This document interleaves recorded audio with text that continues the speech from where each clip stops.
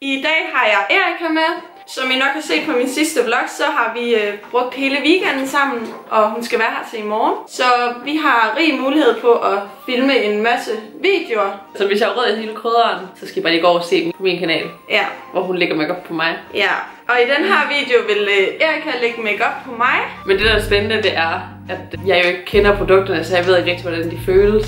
Nej, skal vi bare komme i gang? Ja, det synes jeg. Så tager jeg lige briller af, og skal have den der på. Ja. ja. Sådan der er jeg ikke flot nu. Jo, mega flot.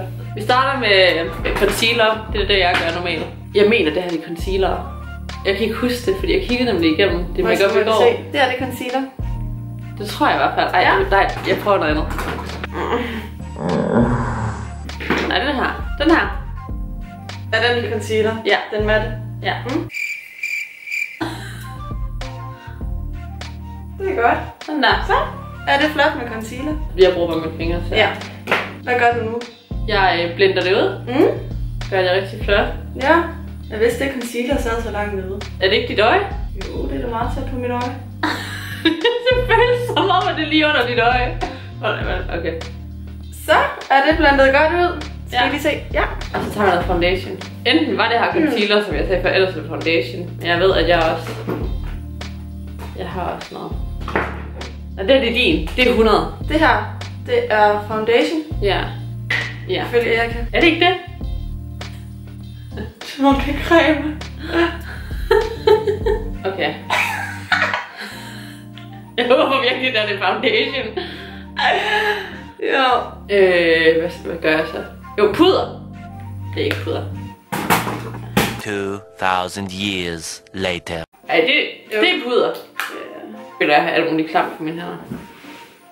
Hvorfor putter man puder på? For at mattify øh, alle olierne fra foundation. Mm. Når jeg gør sådan, har jeg også aldrig til sorte bukser på. Åh. Oh. Og så skal vi lige have nakken med. Er det ikke nakken? Nakken! Det, det skal lige blendes ind. Nakken! Ja. Hvad? Bruh. Eller halsen. Ja. halsen, jeg mener. Sådan der.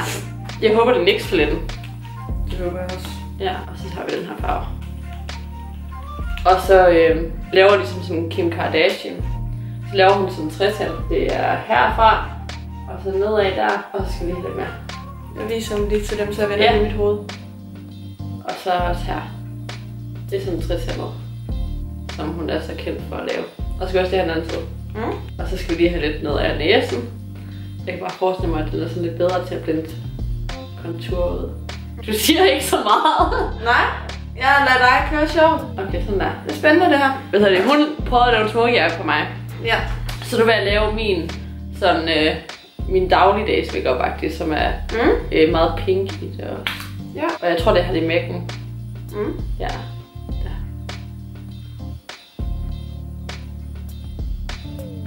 Vi kan lave en challenge, hvor jeg skal prøve at skrue en det her. Ja, gå ned og gang. Ej, please. Okay, vi prøver at sende en snap til en eller anden random fyr, okay? Ja. Og så prøver vi at spørge, hvad skal jeg skrive til ham? Kunne jeg skrue dig? Og det er det næste der. Ja. Øhm, ja. Oh, undskyld. undskyld. Sådan her ser jeg ud. Jeg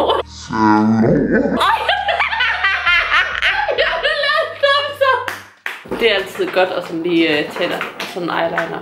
Bare lige for at se rigtig skarp ud. Vis lige til kameraet, hvad du har. Hun har den her. Ja, og nu skal jeg bare Det er simpelthen sådan en øh, winged eyeliner, eller hvad? Ja, Ja. jeg var ikke færdig med den, jeg? Der er meget på. Mm, jeg er ikke færdig. Det skal lige hele vejen ind. Jeg kan ikke engang finde ud af at gøre det her med åbne øjne. Det er imponerende, at du prøver med lukket så. Ja. Ja. Det, mascara kan man også godt bruge til de og sådan, ja, med en tøjmøg. Ja. Ja. Wow. Vent lige, du holder lige for den, så de kan ikke se. Nå, Det her, det var øjenbrynene. ja. Sikke nogle flotte øjenbryn, jeg fik der. Ja. Øh, lys. Ja, Det blender. Blender. det blender ikke. det blænder. Det blender. er det, du har gjort med mig? Seriøst? Prøv lige, det her, det, det, jeg ved ikke, hvad jeg ligner. Du har ikke... Altså, det her, det var hendes hverdags makeup. Husk det. Hvorfor er du blevet rød hernede? Og øhm, hutter får man aldrig af til at tænke bare, fuck, da jeg så det sådan på. Jeg græder. Ja, det er så vores, øh, eller Erikas øh, hverdagslook. Din øjenskik var flot, indtil jeg fuckede den op. Ja. med min eyeliner. Ligner en solbrændt mand? Ja, jeg så så jeg ligner en mand, på grund af, at du har lavet skæg på mig. altså, ja, det her det blev det færdige resultat. Øhm, tak fordi I så med, og tak fordi du gad at være med. Ja. Så Tak fordi du gad at lade mig gøre det. det er nok vores sidste gang. Skal vi gå ned på Starbucks med det? Vi ses bare i min næste video, og husk at hoppe hen på Erikas og se den første. Hej. Bye.